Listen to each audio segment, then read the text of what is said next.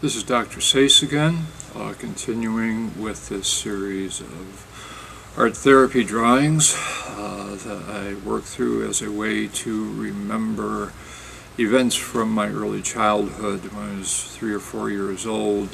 Uh, again, language skills weren't that well developed, but I had good visual memory. Um, a few days after the murder, of course, there was a funeral. The funeral took place at the Cathedral Church in Detroit. Uh, my mother led me into the front of the church. The casket was already set up in the aisle. She took me up there and asked me to put my hand on the coffin so I could remember Michael. Um, I did that and she held my other hand.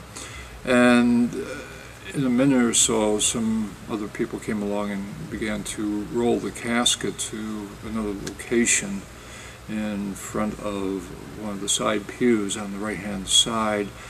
And we followed the casket for a ways um, until there was a, a, person sitting in the front row.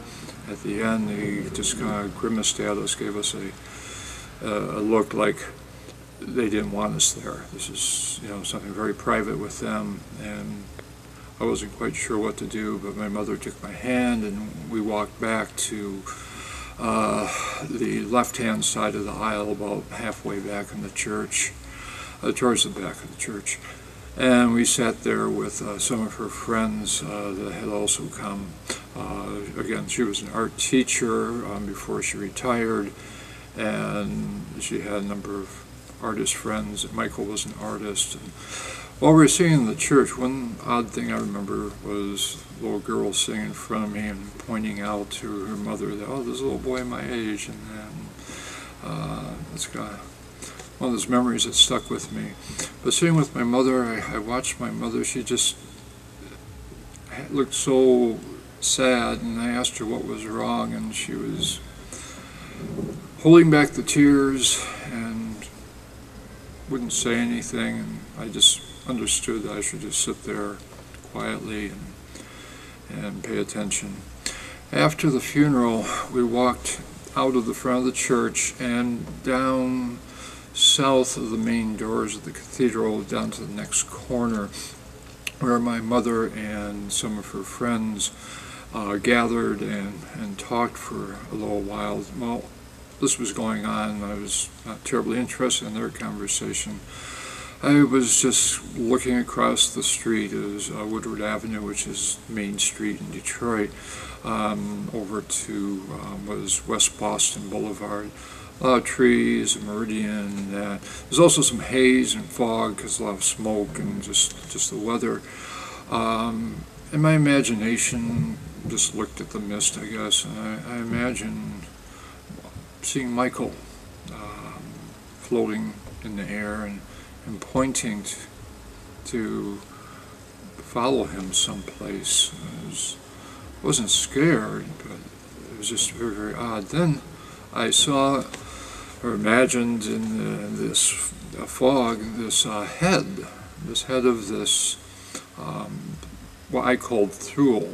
Now, uh, this wasn't terribly odd because this was a brass uh, sculpture that I'd seen before. I'm not quite sure where it was.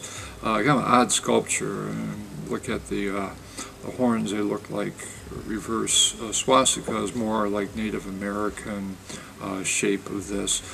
On top of a head that looks like it could be a fox or a wolf or, or really um, a Tule elk. My wife found online a picture of a Tule elk, and yeah, uh, the face looks like that, but um, for some reason I really liked this bronze sculpture, and for some reason associated it with Michael. Um, so I, I guess I imagined that in front of me, and I thought was thinking about that. And something compelled me to want to go over closer to see if I could see what I was thinking I was seeing closer and took a step off the curb and immediately fell into the street. Fortunately, it was the uh, parking lane, and my mother still kind of had my hand, and she pulled me back up to the sidewalk, and you know that was kind of the the end of my, uh, my visualizations of that day. Um, After that, uh, we walk back up towards our car, and that's where we continue in the next part, which is part four.